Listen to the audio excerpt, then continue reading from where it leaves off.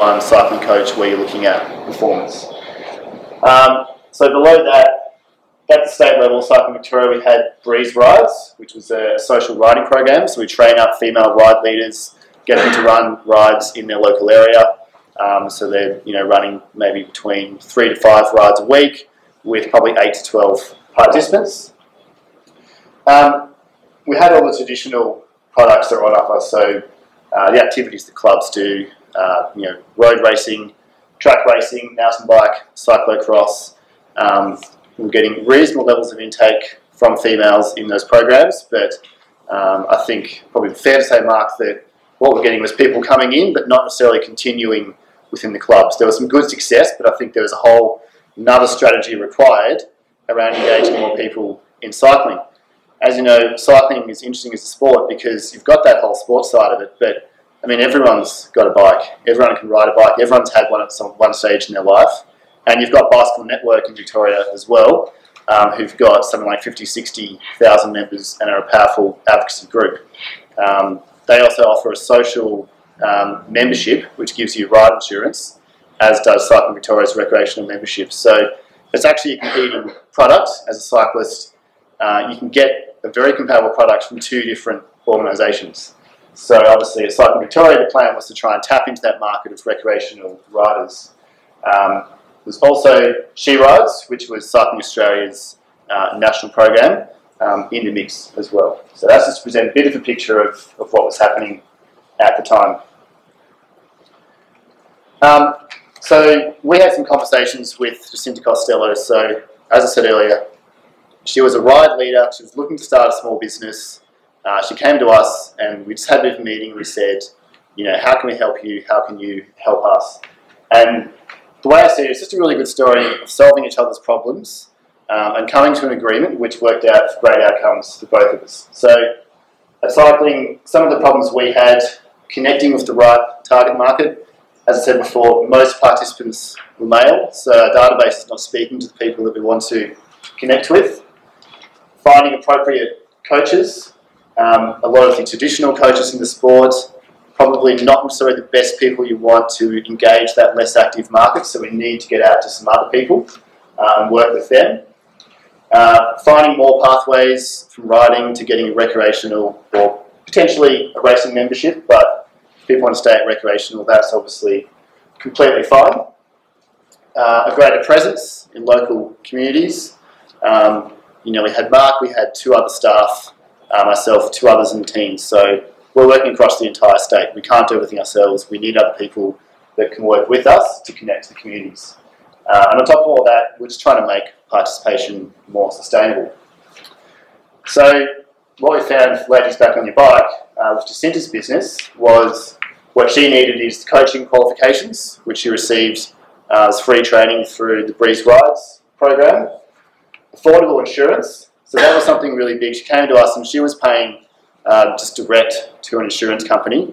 Um, I'm not sure what the, the fee was, but it was a huge amount. And as essentially a startup business, she couldn't afford it, but she has to has it um, to lead the rides. So um, that was something that she was in need of, as well as IT support. So obviously setting up a registration system, payments, all that stuff can be challenging for a small business.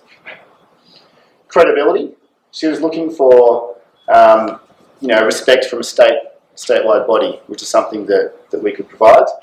Um, and sometimes just equipment. So um, we had a bunch of bikes. We were literally sometimes just having a come meet at the office, go around the back of the village, open the shipping container, get a few bikes, lend her those for a couple of weeks. So she's got a whole range of problems. We've got a whole range of problems. Um, and basically everything that we're looking for here, she ticked off. So She's an older woman herself. She's always been a recreational cyclist.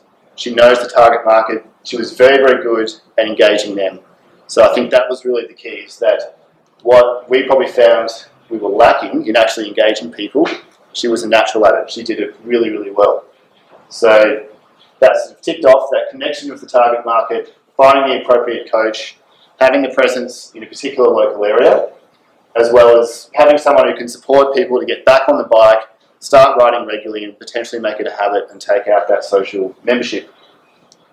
uh, what we were able to provide for her was everything that she needed. So we were able to provide much, much cheaper insurance um, throughout our setup, um, just by paying us a, you know, a fairly small, much more affordable fee. She was able to tap into our registration systems. Um, we gave her the title of you know, preferred supplier for the Bayside area, preferred cycling coach in business, as well as the equipment support. So in many ways, this is just a good case study of, of a really good partnership where um, we've got a whole bunch of problems, she's got a whole bunch of problems, and we solved each other's. So some of the outcomes from this, uh, as I said, we just did quite a simple agreement. It was not that technical, didn't go to lawyers, anything like that. Um, just a, an agreement to work together to pay a small fee. Um, as a result, in the first 12 months, she had about 250 um, participants sign up to her programs. Uh, whereas when we first spoke to her, I think she had about 10 to 20. Uh, Mark informed me yesterday she's currently got 803 participants. Uh, and that's been in, sort of three to four years. So I think that just that growth in numbers was not something we were going to achieve through being out there ourselves running programs. So I think it was a really good outcome for the sport.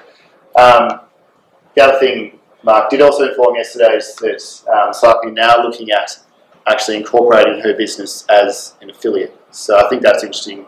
So sort of change that model from all the clubs being incorporated volunteer-led clubs um, to having an actual small business affiliate to Cycling Victoria, and as a result, anyone who signs up with her at 800 automatically become members of cycling. Is that fair to say, Mark? Not quite. Um, so she, her business would be the affiliate member. Yep. Her, so that would give her full membership rights without voting rights. However, her participants would still need to go. Still need to take out membership. Yeah, their own membership. Yeah. Um, but I think what's important for Cycling Vic in that case is that they're more likely to go to to that organisation for the membership right versus Bicycle Network, which, as I said, is a huge competitor for cycling in that space. So the aim out of that partnership is to engage more members Yeah, as an affiliate, Yeah, this model was good to start with, but moving into an affiliate member position where I would find better service should be very small. Yeah. yeah. So it's still evolving as time goes on. Yeah. Um, so a few tips. What I learned out of this, um, you know, I think a lot of coaches we find working in sports, um, and I think there was some talk about this in that table before. Um, a lot of the coaches are those sport loyalists. If you look at the Sport Commission's market segmentations, as I'm sure a lot of you have, um, we're, we're often dealing with people who, who love the sport, are passionate about the sport, um, but when we're looking at, at social participation, um, we're just looking at good instructors, people who, who know the right touch points, who can be a good mentor for people, who can be friendly and be welcoming. They don't need to be people who've grown up with the sport. So I think there's a great opportunity to engage coaches in all these programs uh, from people outside of that segment. Um, and I think you know, there's, there's certainly a lot of people that fit in the categories of, um, I think it was ponderers and sideline sportsters. So there's people who are interested in sport but just aren't involved in traditional club structures, that have always sort of been watching from the side, that might play social sport themselves, that are quite active. Just engaging those people as coaches, I think, is a huge opportunity. Aligning goals, really, really important. I think that was the key um, in this example, was that um, we essentially wanted the same goal of getting more women active, um, and we worked out those technical parts, and it allowed us to work together more effectively.